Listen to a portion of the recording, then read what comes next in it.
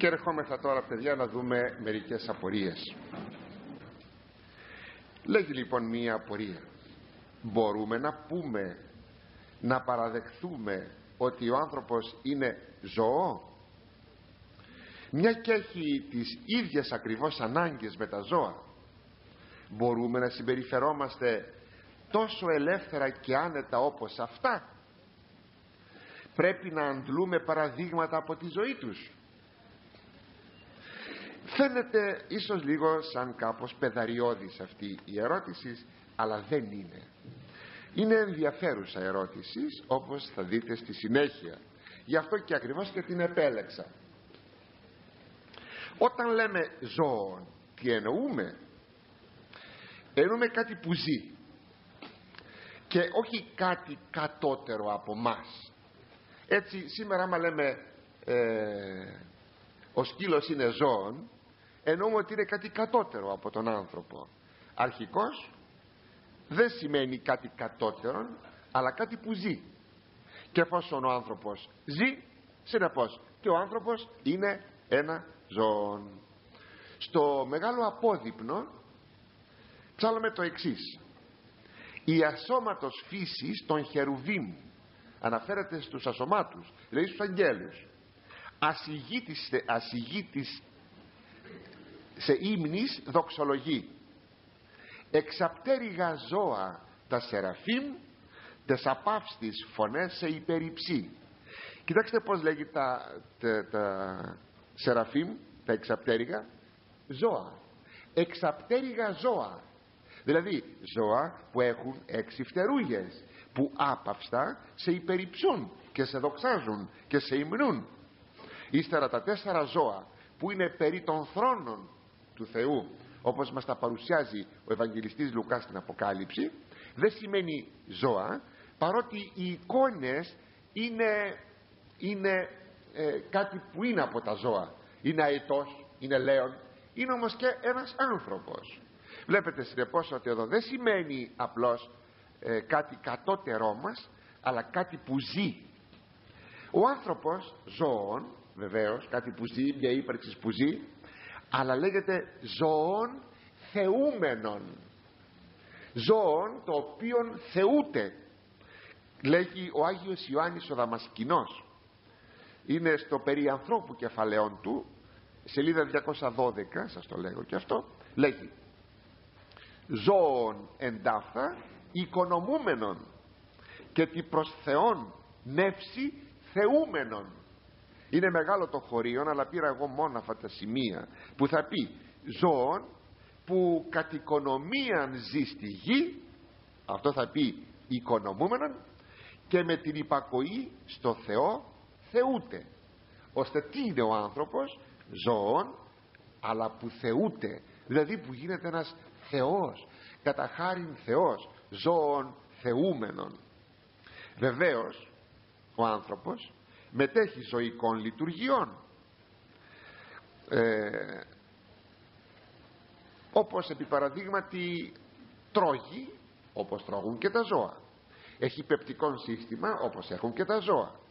Άλλο τώρα εάν έχουμε διαφοροποιήσεις. Αλλά βασικά έχουμε το σύστημα της θρέψεως. Τρώγει ο άνθρωπος όπως όλα τα ζωντανά ε, όλα τα ζώα τρώγουν. Ακόμη έχει όργανα που είναι ή τελειότερα ή ατελέστερα από τα ζώα. Έχει μάτια. Υπάρχουν ζώα τα οποία έχουν πολύ τελειότερα μάτια. Φανταστείτε ότι ο αετός έχει τόσο ισχυρό μάτι που θα αντιστοιχούσε με, να με το να του βάλουμε μία εφημερίδα σε απόσταση 100 μέτρων να μπορεί να τη διαβάσει. Όχι εννοείται τα μεγάλα γράμματα αλλά τα ψηλά γράμματα της εφημερίδας.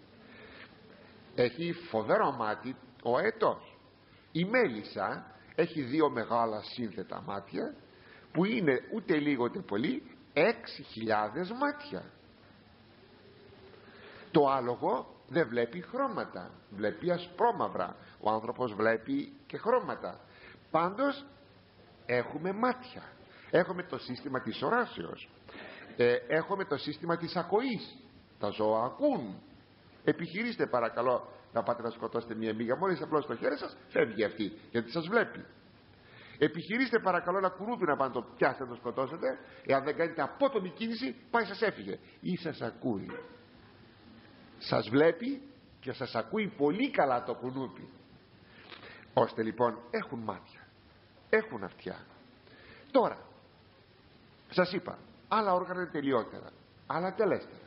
Ο άνθρωπος έχει πάρα πολύ τέλεια χέρια που δεν μπορεί κανένα ζώο να φτιάξει κάτι όχι μόνο διότι δεν έχει νουν αλλά και διότι δεν έχει χέρια. Και αν έχει χέρια τα έχει προς σύλληψη. Ή να στερεωθεί ή να συλλάβει την τροφή του. Όπως η μαϊμού να συλλάβει την τροφή της θα λέγαμε ή να ε, σκαρφαλώσει σε ένα δέντρο. Ενώ ο άνθρωπος με το χέρι όπως είναι κατασκευασμένο δημιουργεί ολόκληρων πολιτισμών και η αξία μάλιστα του χεριού είναι τόσο μεγάλη ώστε άμα πάμε να αγοράσουμε ένα αντικείμενο από τα καταστήματα και μας πει ο καταστηματάρχης ότι δεν είναι βιο, βιομηχανοποιημένο αλλά χειροποίητο το προτιμούμε. Διότι είναι καλύτερο το χειροποίητο από το βιομηχανοποιημένο. Το χέρι του ανθρώπου είναι σας είπα το εργαλείο του πολιτισμού αλλά προσέξτε όμως. Ενώ ανήκουμε στο ζωικό βασίλειο δεν έχουμε καμία σχέση όμως με τα ζώα από πλευράς διαδοχής. Είναι η γνωστή θεωρία της εξελίξεως που κι άλλοτε σας έχω πει. Ο Θεός κατεσκεύασε τον άνθρωπον ξεχωριστά. Δεν πήρε μια μαϊμού να την κάνει άνθρωπο. Έστω ο Θεός αν υποτεθεί ότι δεν θα θέλαμε να δεχθούμε την εξέλιξη. Αλλά παίρνει ο Θεός μια μαϊμού και την κάνει άνθρωπο όχι. Ο Θεός χουν λαβών από τις γης επίησε τον άνθρωπο ο άνθρωπος ναι μεν ανήκει εις το ζωικό βασίλειον ναι μεν έχει πολλά χαρακτηριστικά κοινά με τα ζώα αλλά έχει ξεχωριστή κατασκευή. Η κατασκευή του είναι απευθείας από το Θεό. Διότι είναι ζώων όπως σας είπα προηγουμένως θεούμενων εδώ όμως η απορία. Λέγει αχ τι ωραία να είμαστε ελεύθεροι και άνετοι όπως τα ζώα.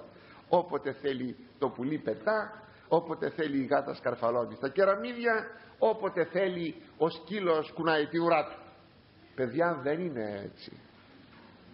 Βέβαια σε κάποιες στιγμές που έχουμε δυσκολίες να επιπαραδείγματι να γράφεις μέσα στο δωμάτιό σου και να διαβάζεις για εξετάσεις και να βλέπεις τη γάτα ξαπλωμένη απάνω στα κεραμίδια λες κοίταξε την αυτήν. Αχ να ήμουν στη θέση της. Και εγώ έτσι απλωμένη στον ήλιο να λιάζουμε αυτό λέγει η απορία. Τόσο άνετα λέει ζουν τα ζώα να ζούσουμε κι εμείς. Προσέξτε παιδιά. Πρώτα πρώτα το ζώο δεν είναι ελεύθερο αλλά είναι δούλον των αναγκών του και των ενστίκτων του ο άνθρωπος είναι ελεύθερος. Γι' αυτό και είναι η εικόνα του Θεού. Έχει λογική και ελευθερία ο άνθρωπος. Ενώ το ζώο δεν έχει ούτε λογική ούτε ελευθερία. Και βλέπουμε εδώ ότι το ζώο κινείται κατά τις ανάγκες του. Πεινάει, διψάει θα κινηθεί κατά τις ανάγκες του. Δεν είναι ελεύθερο. Ο άνθρωπος όμως θα πει νηστεύω θα πει νηστεύω αυτό που το θεωρούμε ανελευθερία ακριβώς αυτό είναι ελευθερία. Διότι ενώ μπορώ να φάγω μπορώ να ανοίξω το ψυγείο μου και να φάγω όμως δεν το κάνω διότι είναι Παρασκευή διότι είναι Σαρακοστή. Το κάνω όχι διότι μου το υπαγορεύουν αυτό τα ένστικτά μου και οι ανάγκες μου αλλά η ελευθερία μου. Το ζώο αν είχε την δυνατότητα θα άνοιγε το ψυγείο όποτε πεινούσε και θα τρώγε μη ζηλεύετε λοιπόν αυτήν την άνεση και αυτήν την τάχα ελευθερία δεν πρόκειται περί ελευθερίας αλλά περί ικανοποιήσεως των ενστίκτων και των αναγκών. Την ελευθερία την έχει μόνος ο άνθρωπος ο οποίος και ρυθμίζει τα του βίου του. Λέει όμως εδώ και κάτι άλλο που ίσως μοιάζει περίεργο. Η απορία πρέπει να αντλούμε παραδείγματα από αυτή τη ζωή τους. Λοιπόν παιδιά ναι. Μπορούμε να αντλούμε παραδείγματα από τα ζώα. Θα μου πείτε τι είδους παραδείγματα. Ε λοιπόν προσέξτε. Είναι γνωστό ότι τα ζώα είναι πολύ κατώτερα του ανθρώπου.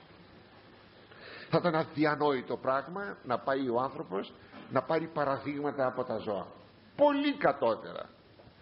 Αλλά αλλά όταν ο άνθρωπος έπεσε εις τον παράδεισον ο Θεός έβλεπε ότι η κατρακύλα που θα έπαιρνε θα ήταν μια κατρακύλα φοβερή ώστε θα ξεπερνούσε στην κατρακύλα και αυτό το επίπεδο των ζώων.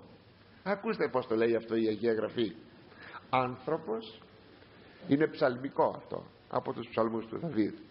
Άνθρωπος εν τιμή ον ουσινίκεν αλλά παρασυνευλήθη της κτίνεση της ανοήτης και ομοιώθη αυτής.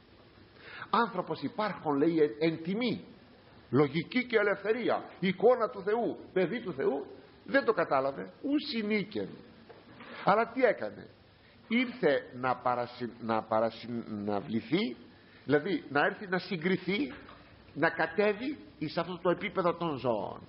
Είναι ένα κατάντημα του ανθρώπου. Θα σας πω ένα ανεκδοτάκι θα το καταλάβετε μια παρέα κάποτε πήγανε στην ταβέρνα. Και παραγγείλανε κρασί. Ε παιδιά λέει ο ένας από την παρέα πως να πιούμε κρασί; Σαν άνθρωποι ή σαν ζώα; Ε όχι λέει και σαν ζώα λέει ένας δεύτερος.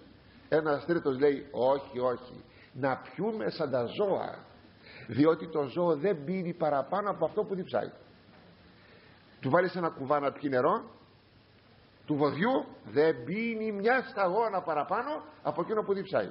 Ο άνθρωπος τι κάνει όμως; Πίνει και πίνει και πίνει και βγαίνει έξω και το ξερνάει το έχω δει με τα μάτια μου αυτό και ξαναμπαίνει να ξαναπιεί να ξαναπιεί και να ξαναξεράσει και να ξαναπιεί. Πέστε μου λοιπόν το κάνει αυτό το ζώο; Όχι. Το ζώο σταματάει στην, στην κάλυψη της ανάγκης του. Στον κορεσμό της ανάγκης του. Τίποτα. Ο άνθρωπος πάει πιο κάτω από τα ζώα. Έχοντας λοιπόν υπόψη ο Θεός γνωρίζοντας ότι ο άνθρωπος θα κατεβεί τόσο χαμηλά γι' αυτό φτιάχνει το ζωικό βασίλειο με προσέξτε τη λέξη θα πω τώρα με αρετές και κακίες προσέξτε μόνο τη λέξη αρετές τη βάζω εντός εισαγωγικών και τη λέξη κακίες εντός εισαγωγικών διότι η αρετή και η κακία είναι αποτελέσματα μιας ελευθερίας. Γι' αυτό βάζω τις λέξεις εντός εισαγωγικών. Με αρετές και κακίες για να βλέπει ο άνθρωπος να παραδειγματίζεται. Δεν το λέγω εγώ το λέγει ο Μέγας Βασίλειος. Το λέγουν και άλλοι πατέρες της Εκκλησίας μας. Το λέγει και ο Άγιος Ιωάννης ο Χρυσόστομος. Τι δηλαδή ή μάλλον γιατί να πάω; Πώς θα βρει την Αγία Γραφή; Η ιδία η Αγία Γραφή καλεί τον τεμπέλη των οκνηρών και του λέγει είναι στις παροιμίες οκνηρέ έλα να δεις πως δουλεύει η μέλισσα και πως δουλεύει το μυρμήγκι λέγει ο Πασκάλ κατάντημα του ανθρώπου όταν καλεί η Αγία Γραφή τον άνθρωπο να πάρει παράδειγμα από την κτήση ενώ δεν έπρεπε να παίρνει από την κτήση παραδείγματα αλλά να παίρνει παραδείγματα από τους αγγέλους. Διότι το φως των ανθρώπων είναι οι άγγελοι και το φως των αγγέλων είναι ο Θεός. Έτσι παιδιά από εκεί έπρεπε να παρα... παίρνουμε παραδείγματα. Γι' αυτό καμιά φορά όταν έχουμε Αγίους τους λέμε αγγελομιμήτους ακόμη λέμε ότι έχουν ε, ζουν αγγελικά. Τι θα πει αυτό; Δεν μιμούνται τα ζώα μιμούνται τους αγγέλους. Όταν ο άνθρωπος όμως δεν μπορεί να φτάσει να μιμηθεί τους αγγέλους τουλάχιστον να μιμηθεί τα ζώα. Να πω μερικά παραδείγματα. Να πω μερικές αρετές και μερικές κακίες των ακούστε η Καμίλα είναι γνωστό ότι είναι μνησίκακος. Εάν την τσιμπήσετε ή τη δίρετε την Καμίλα δεν θα πει τίποτα. Δηλαδή δεν θα, δεν θα διαμαρτυρηθεί. Αλλά μπορεί να περάσουν μέρες. Μπορεί να περάσουν εβδομάδες. Το θυμάται η Καμίλα και σε κάποια δεδομένη στιγμή έρχεται και σου κόβει μια δαγκονιά που είναι όλη δική σου. Γιατί; Γιατί μείνεις κακή. Λοιπόν λέγει ο Ιερός Χρυσόστομος μνησικακής σαν την καμήλα. Ο γάιδαρος κλωτσάει λέει ο Ιερός Χρυσόστομος και κλωτσά σαν τον γάιδαρο και ούτω καθεξής. Ο χείρος βγαίνει και μια παροιμία. Λέει όσο να τον πλύνεις θα πάει πάλι μέσα στο βούρκο και λέει μια παροιμία μια παροιμία παροιμία όχι λαϊκή είναι στην Αγία Γραφή ότι η κακιά γυναίκα λέγει είναι σαν να έβαλε ο χείρος, ο χείρος κουλαρίκια και πήγε στο βούρκο μέσα ναι, τι θέαμα θα είχε εκείνος ο χείρος που έβαλε του βάλαμε σκουλαρίκια; Εις, εις, ακούστε εις. Είναι ύψιλον δασία περισπομένη είναι το θηλυκό γουρούνι. Τώρα πρέπει να εξηγούμε και μερικά πράγματα. Να βάλει σκουλαρίκια και να πάει μέσα στη λάσπη. Τι θα βγει από εκεί; Έτσι μοιάζει η κακιά γυναίκα. Είδατε παρομοίωση; Από την Αγία Γραφή. Αυτές είναι κακίες. Έχουμε όμως και αρετές παιδιά είναι κάτι καταπληκτικό. Έχετε δει την πιστότητα του σκύλου; Το σκύλο δίρτε τον. Δίρατε τον. Χτυπήστε τον. Τον βλέπετε βάζει την ουρά στα σκέλη του ουρλιάζει και φεύγει. Άμα τον φωνάξετε το σκύλο την ίδια στιγμή έρχεται κουνώντας την ουρά του τριαμβευτικά. Δεν θυμάται τίποτα από εκείνα που του κάνατε. Τι έχει ο σκύλος; Ανεξικακία. Έχει και πιστότητα η γάτα είναι γνωστό ότι δεν αναγνωρίζει κύριον αλλά σπίτι. Ο σκύλος δεν αναγνωρίζει σπίτι αλλά κύριον. Εάν μετακομίσετε η γάτα δεν θα έρθει μαζί σας. Αλλά ο σκύλος θα έρθει μαζί σας. Τα περιστέρια ο Κύριος τι είπε; Ο Κύριος είπε γίνεστε φρόνιμοι ως ιόφης και ακέραιοι ως επεριστερέ θα πει ακέραιος είναι από το α το στερητικό α α κεράνιμη που θα πει δεν ανακατεύω δεν νοθεύω συνεπώς τι είναι το περιστέρι; Ακέραιο ανώθευτο. Βλέπετε κάτι καταπληκτικό όπως είναι και ο κύκνος. Όταν πεθάνει το ένα από... είναι ζεύγη. Είναι ζεύγη, είναι μονόγαμα τι ωραία, ζεύγη. Όταν πεθάνει το ένα από τα δυο δεν πηγαίνει αυτό να ξαναπαντρευτεί όπως κάνουν οι άνθρωποι ε, που είναι χειρότεροι από τα ζώα. Μπατρεύονται και ξαναπαντρεύονται και χωρίζουν και τα λοιπά. Το περιστέρι είναι ένας ζεύγος. Πέθανε το ένα το άλλο θα μείνει έτσι. Και θα πεθάνει έτσι.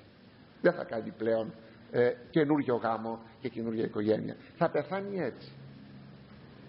Όλα αυτά τι δείχνουν; Να σας πω ακόμη κάτι άλλο. Το χελιδόνι ξέρει να κτίζει ο Σπούργητας δεν ξέρει να χτίζει. Παρακολουθώ τη ζωή παιδιά των Σπουργητών και των Χελιδονιών το καλοκαίρι.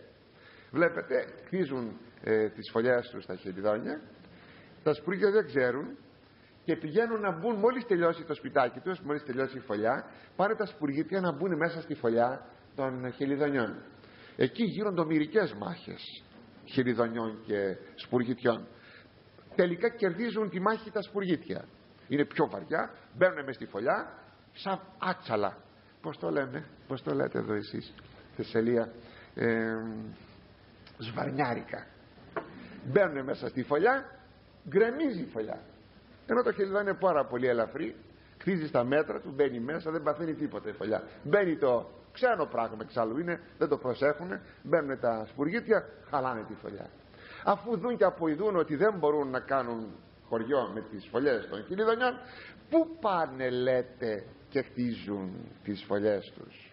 Όχι χτίζουν μαζεύουν μερικά ξυλάκια και, και κάνουν τη φωλιά.